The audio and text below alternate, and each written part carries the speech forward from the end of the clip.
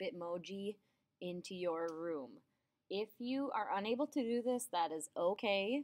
Um, more than likely, you won't be able to do it from your school iPad because you won't be able to get the Bitmoji keyboard onto that iPad. If you know how to do it, let me know.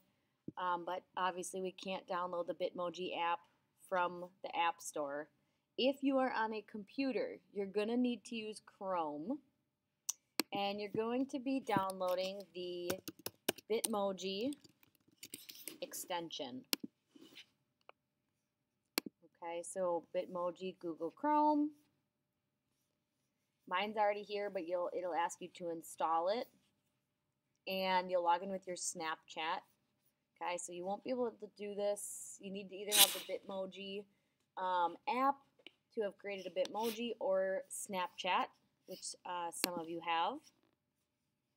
And once I go back to my um, room, then I'm going to look for the extension. Here it is in Google Chrome. Okay, and from there I can look for any type of Bitmoji. Um, I don't want, I didn't want mine to have anything um, in that like writing or any other thing in it.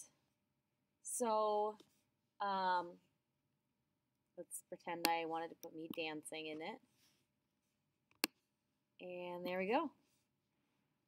That is how you get yourself, your Bitmoji, into your room.